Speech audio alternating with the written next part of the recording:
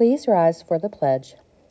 I pledge allegiance to the flag of the United States of America and to the republic for which it stands, one nation, under God, indivisible, with liberty and justice for all. And the pledge to the Texas flag.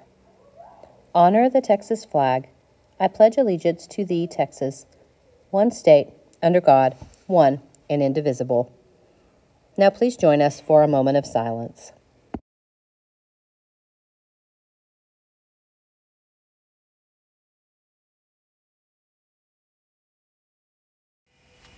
It's going to be a whimsical Wednesday here at Nance. The date's Wednesday, April 19th, and we have no birthdays today. Your lunch choices for today are vegetarian fried rice, chicken nuggets, apple yogurt and cheese stick plate, and sun butter and jelly sandwich. Today, our third, fourth, and fifth graders are going to be taking the STAAR test. Let's wish them all good luck. Remember, you're smart, you're capable, you're prepared, and you will do amazing.